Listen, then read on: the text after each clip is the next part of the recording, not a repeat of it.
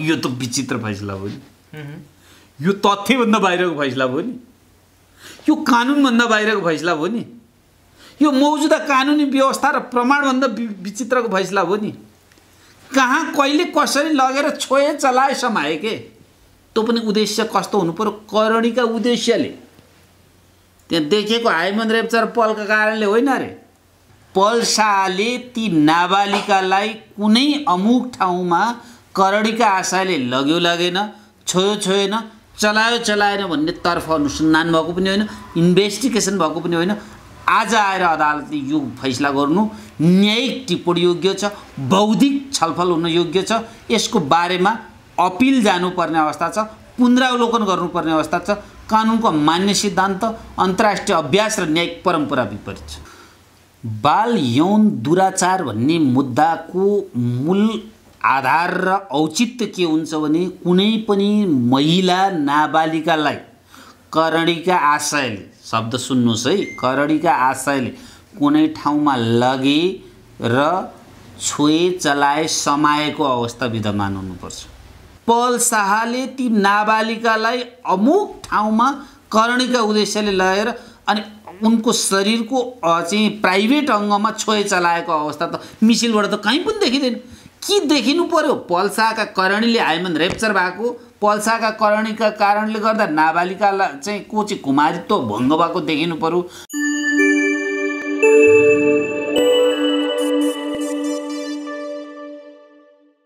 दर्शक नमस्कार अनि हार्दिक स्वागत छ र अभिनेता पल शाहलाई लिएर एक्सक्लुसिभ भिडियो लिएर उपस्थित भएका छौँ र हामीसँग चाहिँ चर्चित अधिवक्ता भन्ने पाने जो हुनुहुन्छ र भर्खरै मात्र चाहिँ नि जिल्ला अदालत नवलपुरले एउटा फैसला ल्याएको छ र फैसलाको पूर्ण पाठमा के छ? अब कसरी अगाडि बढ्छ यो मुद्दा? पल शाहलाई चाहिँ साढे दुई वर्ष चाहिँ कैद सजाय सुनाइयो। यो कसरी सुनाइयो? के आधारमा सुनाइयो? यो बारेमा प्रष्ट जानकारी लिनेछौँ यहाँलाई सम्पूर्ण मिडियामा स्वागत गर्न चाहन्छु। अधिवक्ताजी नमस्कार। धन्यवाद नमस्कार। जस्तो आज जुन प्रकारको नवलपुरले फैसला गर्यो यो फैसला चाहिँ कस्तो खालको हो? यसमा सन्तुष्टि लिन सक्ने ठाउँ छ कि छैन?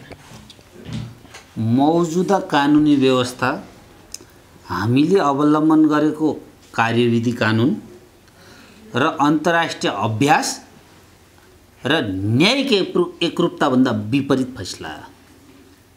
भनेपछि अदालतले पल्सामाथि अन्याय गरेकै हो त? आज?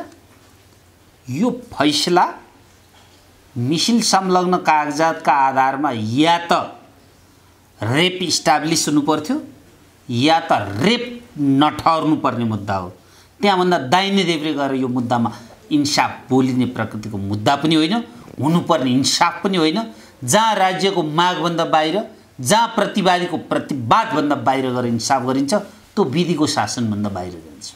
जस्तो न्यायाधीशले चाहिँ आज के को आधारमा फैसला गर्यो होला? जहाँ चाहिँ नि माग दाबी भन्दा बाहिरको एउटा चाहिँ नि मुद्दा बाल दुराचार यो समथिङ यो टाइपको मुद्दा छ। यो चाहिँ कसरी स्थापित हुन सक्छ त यो बलात्कारको केसमा? बाल यौन दुराचार भन्ने मुद्दाको मूल आधार र औचित्य के हुन्छ भने कुनै पनि महिला नाबालिकालाई करणीका आशयले शब्द सुन्नुहोस् है करणीका आशयले कुनै ठाउँमा लगे र छोए चलाए समाएको अवस्था विद्यमान हुनुपर्छ।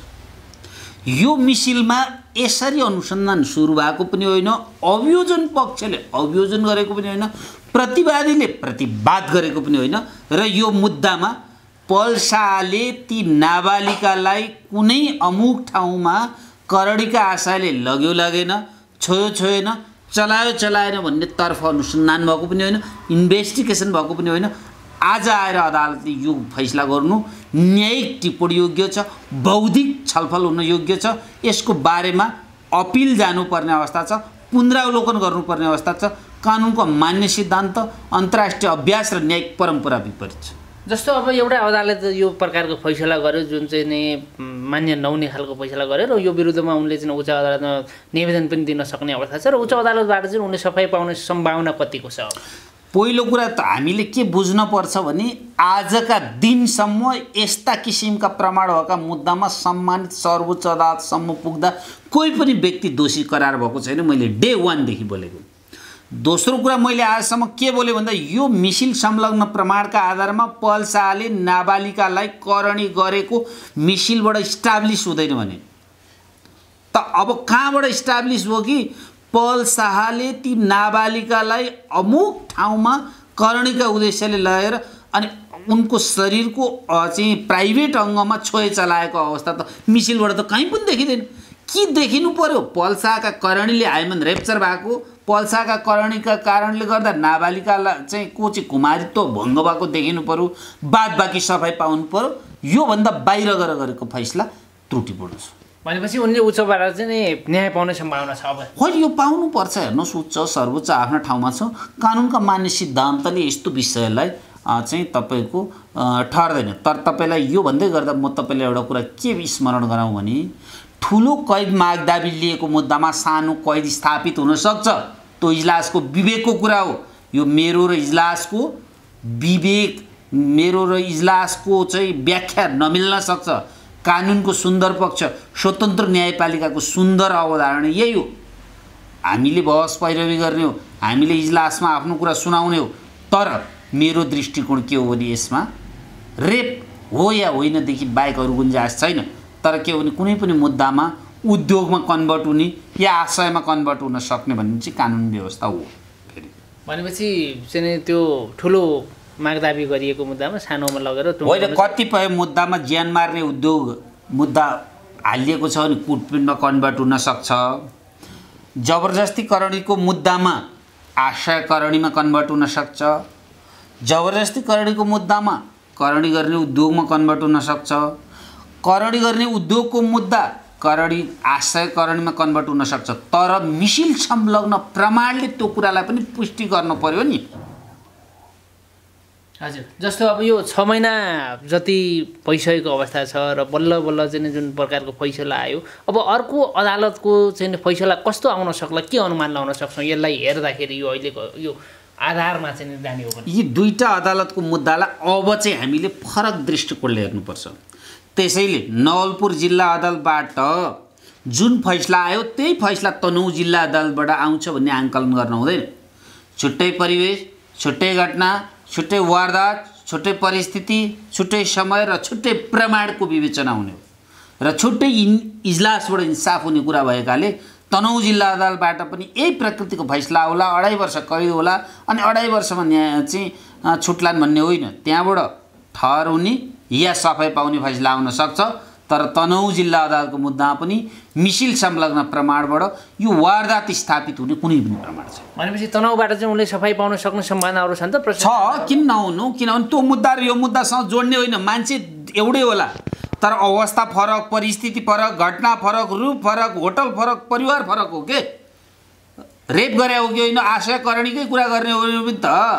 आज चाहिँ नवलपुरले के भन्यो भने आफ्ना टेरिटोरीमा लगेर चाहिँ करणीका आशयले त्यो नाबालिकाको शारीरिक अङ्गमा छोए चलाएको कुरा भन्यो। त तनहुँ अदालतको टेरिटोरियलभित्र पनि लगेर चाहिँ त्यही अवस्थामा छोए चलाएको हो त। अर्थात् प्रश्न भोलि उठ्न सक्छ। मैले अहिले तपाईँलाई आज फैसला भएका दिन यो धेरै बोल्दिनँ। जहाँ जहाँ लग्यो भन्यो त्यहाँ त्यहाँ करणीका आशयले लाने छुने चलाउने अनि ती केटीलाई चाहिँ बाहिर ल्याउने गर्दो रहेछ त पल्साले। यस्तो इन्साफ गर्ने हो। अदालतले गर्ने इन्साफ भनेको त्यस्तो हुन्छ। कि त करणी गर्यो कि त गरेन पो हुन्छ त। मिसिलभन्दा बाहिर गएर गरेको इन्साफ त्रुटिपूर्ण छ बौद्धिक व्याख्या बौद्धिक टिप्पणी योग्य छ। भनेपछि जस्तो अब चाहिँ नि तनाउले यदि उनलाई सफाइ दिएको खण्डमा यो चाहिँ अहिले जुन फैसला सुनाइएको छ यो चाहिँ के हुन्छ त? यो प्रश्न बनाइदिन्छ। तनहुँले सफाइ दियो भने अढाई वर्ष कैद छ या उच्च अदालतबाट उल्टिनु पर्यो बाद बाँकी सजाय हुन्छ। ए सजाय फेरि भोग्नै पर्ने हुन्छ पल्साजी पर्यो त किनभने छुट्टै अवस्था छुट्टै परिस्थिति हो नि त। भनेपछि अहिले जुन आधारमा फैसला गरिएको छ यो फैसलालाई चाहिँ हामीले सामान्य रूपमा लिनुपर्छ या चाहिँ अन्यायपूर्ण रूपले कसरी लिन होइन सकिन्छ अन्याय भन्दा पनि यसो हेर्नुहोस्। अदालतको फैसला मान्नुपर्छ। त्यो तपाईँहरूले फैसलाको लागि धेरै टिप्पणी गर्ने होइन। हामी कानुन व्यवसायले अदालतमा भएका फैसलालाई स्वस्थ रूपमा अदालतको मान मर्यादामा आँच नआउने गरी बौद्धिक रूपमा टिप्पणी गर्नेदेखि बाहेक अरू केही पनि अधिकार यसमा बाँकी रहँदैन यो फैसला मान्नुपर्छ जस्तो अहिले उनी पाँच महिना चाहिँ नि कारागारमा बसिसकेको अवस्था छ अब यो फैसला आउँदाखेरि यो फैसलामा उनले फेरि थपबाट हुन्छ यो जोडिन्छ जोडिँदैन, जुन? दिनदेखि उनी थुनामा गए त्यसकै आधारमा कैदको गणना हुन्छ। अब त्योभन्दा अरू के हो नि उच्च अदालतबाट उल्टी भयो भने सोही बमोजिम हुन्छ। अब यो मुद्दामा दुइटै पक्ष पुनरावेदन जानेछन् विचारणीय कुरा छ हेर्नुहोस्। राज्य पक्ष रेप ठहरेन त्यसैले रेप ठहरै पाउँ भनेर जान्छ। प्रतिवादी पक्ष पल्सा पक्ष मैले आशय करणी गरेको होइन अर्थात् मैले करणीको दुरुत्सान गरेको होइन करणीको चाहिँ कुनै पनि चाहिँ सिम्टमका आधारमा मैले लगेर छोए चलाए समाएको छैन। सुटिङ गर्न जाँदा सँगै गइयो भनेर आशय करणी ठहराउने अर्थात् करणीको चाहिँ दुरुपयोग ठहराउने मैले यो छोए चलाएको होइन मिसिलबाट स्थापित हुँदैन भनेर पल्सा पनि अपिल जान्छ। त्यसैले दोहोरो पुनरावेदन पर्छ यसमा। भनेपछि जब जिल्लाले चाहिँ नि यो अदालतको जुन अभियोग पुष्टि गर्न नसकेपछि उच्चले फेरि चाहिँ नि यसलाई पुष्टि गर्यो भने त उनलाई फेरि चौध वर्ष या चाहिँ योभन्दा सक्छ सक्छ। यो मुद्दामा आजै फेरि अढाई वर्ष फैसला भयो। अब यो मुद्दामा पल्सा चाहिँ अढाई वर्षभन्दा धेरै जाँदैन भन्ने पनि होइन। अढाई वर्ष कैद भयो अब कैद घट्दैन भन्ने पनि होइन। यो मुद्दाको एउटा सुरुवाती अङ्ग हो। उच्च अदालतले एउटा अवस्थामा पुग्छ। जस्तो अब अर्को जिल्ला अदालतको फैसला आउँदा त्यो अर्को जिल्ला अदालतले जसरी चौध वर्ष माग दाबी गरे त्यो नै चाहिँ उनले सदर गर्न पनि सक्छ। सक्छ त्यसमा कुनै समस्या भयो। जस्तो अहिले भर्खरै तपाईँको पल्साजीको परिवारसँग पनि सम्पर्क भयो भन्ने खबर थियो। के कुराकानी भयो? होइन उहाँहरूको परिवारले यो विषयमा के गर्न सकिन्छ भन्नुहुन्थ्यो यो बौद्धिक टिप्पणी योग्य चाहिँ यो मुद्दामा चाहिँ उच्च अदालत जानुपर्छ। मैले यो सटिक र सही सल्लाह दिएको। जस्तो अब झनै अलिकति ठेलठाल पेलपाल भएको जस्तो झनै रहस्यमय तरिकाले अगाडि बढेको यो मुद्दालाई चाहिँ अब कसरी लिन सकिन्छ कसरी अगाडि बढ्न सकिन्छ भनेर यहाँ चाहिँ हामीले केही आकलनै गर्न नसकिने अवस्थाहरू भयो। पल्जीलाई अब त्यही खालको अवस्था अहिले सृजना भएको होला। जनतालाई के चाहिँ भन्न सकिन्छ अहिलेको अवस्थामा? वर्तमान अवस्थामा? नागरिक स्तरमा पनि के थियो भन्दा पल्सा निर्दोष छ भन्ने मानसिकता थियो। यो मानसिकताले काम गर्ने चाहिँ होइन। तर मैले नागरिक स्तरमा मिसिल संलग्न कागजातले के भन्छ चाहिँ मैले बुझाइदिएको थिएँ। के बुझाइदिएको थिएँ नागरिकलाई भने यो मुद्दामा देखिएका प्रमाणले पल्साले नाबालिका गायिकालाई करणी गरेको भन्ने पुष्टि हुँदैन भनिदिएको थिएँ। आज जिल्ला अदालतले के भन्यो यही कुरा स्थापित गर्यो।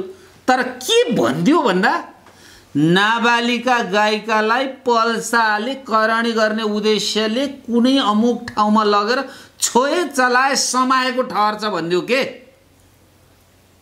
यो त विचित्र फैसला भयो नि। यो तथ्यभन्दा बाहिरको फैसला भयो नि। यो कानुनभन्दा बाहिरको फैसला भयो नि। यो मौजुदा कानुनी व्यवस्था र प्रमाणभन्दा विचित्रको फैसला भयो नि। कहाँ कहिले कसरी लगेर छोए चलाए समाए के? त्यो पनि उद्देश्य कस्तो हुनु पऱ्यो करणीका उद्देश्यले। त्यहाँ देखेको हाइमन रेप्चर पलका कारणले होइन अरे? अर्नै कारणले हुने भयो। भनेपछि त यो फैसला त कस्तो भने यस्तो फैसला गर्ने होइन अदालतले जे तथ्य हो त्यसको बेसमा बसेर गर्ने हो। त्यो बेसभन्दा बाहिर गरिएको फैसला त्रुटिपूर्ण छ। त्यसैले त मैले भने नि मान्नुपर्छ। स्वतन्त्र र निष्पक्ष अदालतले गरेको फैसला यस्तै हुन सक्छन् भनेर पुनरावेदन लाग्ने भएकाले यो फैसला गर्ने मान्य न्यायाधीशमाथि प्रश्न उठ्दैन। उहाँको बौद्धिकता प्रयोग त्यतापट्टि भयो तर यसलाई मैले त्रुटिपूर्ण भने। र यो उच्च अदालतले के भन्छ भोलि हेरौँ। जस्तो चाहिँ अब अदालतले कि उसलाई चाहिँ यो ठहरै गरेर पुष्टि नै गरेर कि चौधै वर्ष हालिदिया भए हुन्थ्यो कि सफाइ दिया भए हुन्थ्यो। यो बिचको अहिलेको जुन खालको एउटा चाहिँ उनलाई फैसला सुनाएको यो आफैमा चाहिँ विवादास्पद जस्तो पनि देखियो र यो चाहिँ शङ्का गर्ने आधारहरू ठाउँहरू धेरै देखियो नि त अहिले यो त तपाईँले त्यसरी त भन्न मिल्दैन हेर्नुहोस् यति गरिदिया भए हुन्थ्यो भन्ने होइन। त्यो इजलासको विवेकको कुरा हो। जब मैले पनि यो गरे भए हुन्थ्यो भन्दिनँ। जब के हो भने मिसिल संलग्न कागजातले चाहिँ यो अवस्था ठहर्ने प्रकृतिको थिएन कि?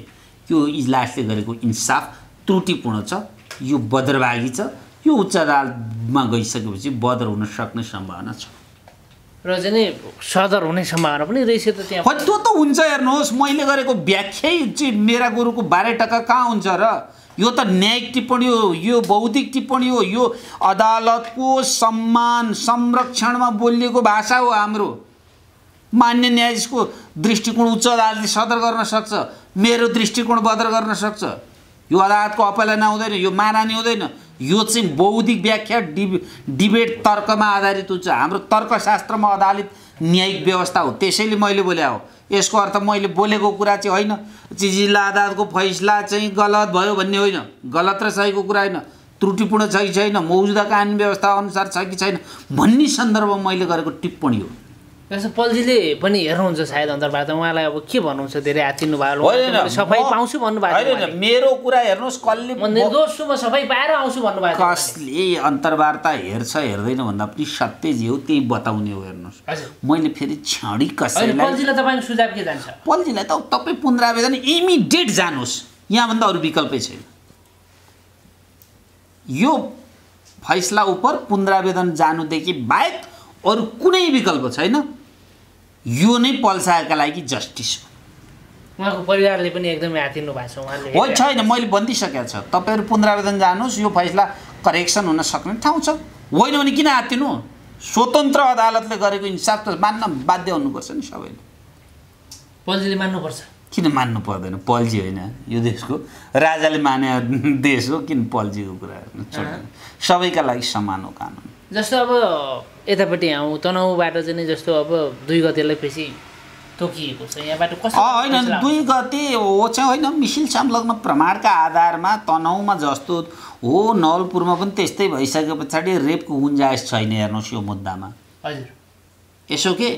रेप भयो कि भएन अदालतले हेर्ने एउटा मूलभूत कुरा सुन्नुहोस् क्या रेप ठर्छ कि ठर्दैन मिसिलबाट हेर्ने हो कि? ककसको पारिवारिक जीवनमा के के हुन्छ अदालतले हेर्न जाँदैन। मिसिल संलग्न कागजातले के देखिन्छ त्यो बोल्ने हो? तनाउका मुद्दाबाट रेप देखिँदैन। जस्तो अब अन्तिममा चाहिँ नि पल्छा अघि पनि मैले सोधेँ सोध्न तर पल्छाजीलाई जस्तो तनहु हो भन्दा पनि नवलपुरले जुन खालको आज आदेश सुनायो यो चाहिँ यसलाई कसरी लिन सकिन्छ यो चाहिँ ठ्याक्कै भन्नु पऱ्यो तपाईँले। अब यसलाई यो कानुनको गम्भीर त्रुटि भएको छ यसमा। कानुनको व्याख्यात्मक त्रुटि छ बौद्धिक व्याख्यात्मक त्रुटि छ गलत फैसला छ यो फैसला करेक्सन योग्य छ। र टिप्पणी योग्य छ। हुन्छ यहाँले महत्त्वपूर्ण समय दिनुभयो जानकारी दिनु यहाँलाई धेरै धेरै हवस् धन्यवाद नमस्कार।